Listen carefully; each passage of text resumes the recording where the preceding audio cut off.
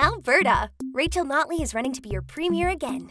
And you may be thinking, cool, I knew that. But what exactly has Rachel Notley done? Well, she has.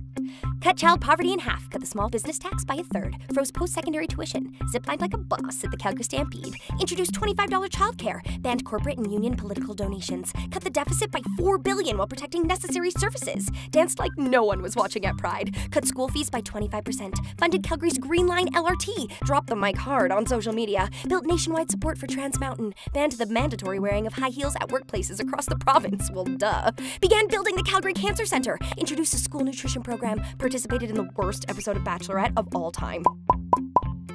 Built or modernized 240 schools, increased rates for AISH, slashed the travel and hospitality budget by nearly 90%, invested funding to combat rural crime.